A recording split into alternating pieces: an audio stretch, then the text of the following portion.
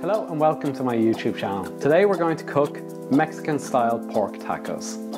So these are the ingredients we need. We need our brown rice, we need our fennel and our paprika that'll all go in the pan. Uh, the pork mince in the pan with these guys. Um, for our seasoning, we'll need an apple, we'll need our white onion, our coriander, and then to kind of do the sour cream later, we'll use half of the lime, we'll use the sour cream, and then we need our tortilla wraps um, generally.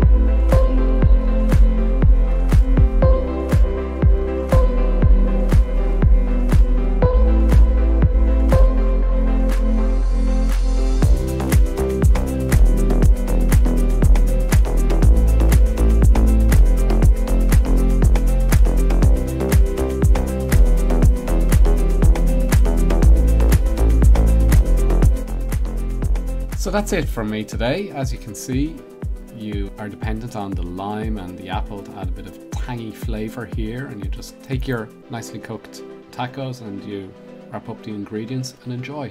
Thank you very much for watching. Goodbye.